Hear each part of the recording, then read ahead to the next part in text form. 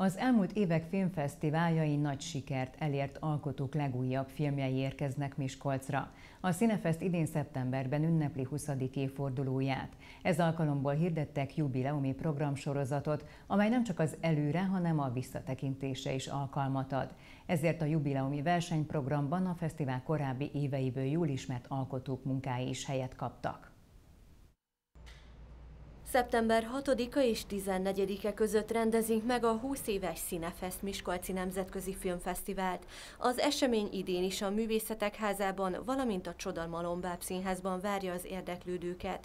Külső helyszínként pedig most is a Csengei Kert kapcsolódott a programokhoz. A jubileum alkalmából a versenyen olyan alkotók munkái is helyet kaptak, akik korábbi filmjeikkel az elmúlt két évtizedben már szerepeltek a Cinefesten.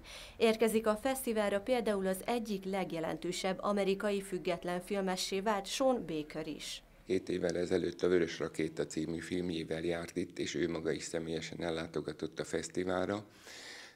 Azóta az új filmjével, amit ezt követően készített, az Anórával, pedig az idei Cannes Filmfesztivál aranypálma díját nyerte meg, ezért úgy gondoltuk, hogy ezt a legújabb filmjét is mindenképpen bemutatjuk az idei fesztiválon.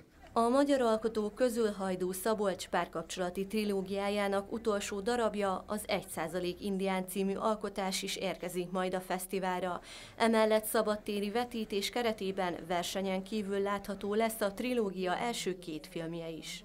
Az alkotók részéről nagy öröm nekünk az, hogy számos olyan alkotó van, és nem csak az említett két személy, hanem rövidfilmesek is, akik annak idején a pályájukat gyakorlatilag velünk együtt kezdték, tehát a fesztivál ideje alatt, és azóta már nemzetközi sikereket értek el, olyan nagy sikereket is, mint hogy nemzetközi filmfesztiválokon díjat kaptak. Bíró Tibor kiemelte, a múltba tekintés két kiállítás során is megjelenik majd.